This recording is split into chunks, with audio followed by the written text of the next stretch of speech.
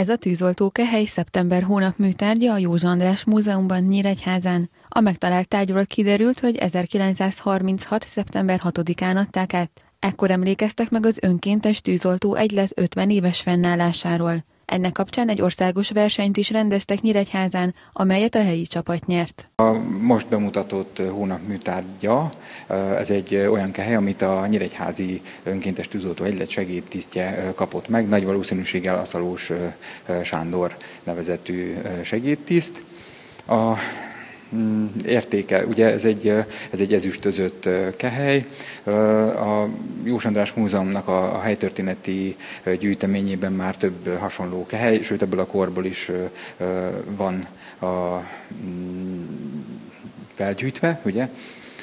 Megtalálva, és a, ugye ez most jelenleg a, a tűzoltóság épületében van egy állandó kiállításon kiállítva.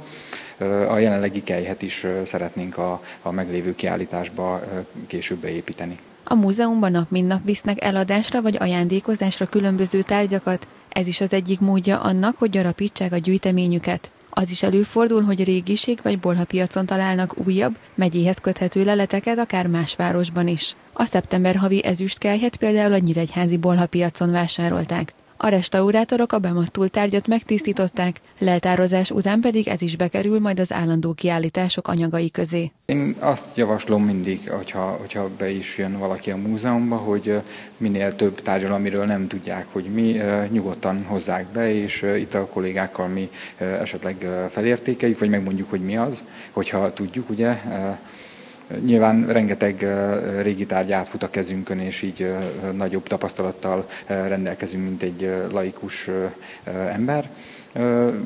Sokszor kerül be olyan ajándékba a múzeumban olyan tárgy, ami nagyértékű, a múzeum tárgyi készlete legtöbbször ajándékozással gyarapszik, így minden értékes tárgyat szívesen fogadnak a lakosságtól. Sok leletet pedig egy-egy beruházás vagy útépítés kapcsán a régészek gyűjtenek be a környékről.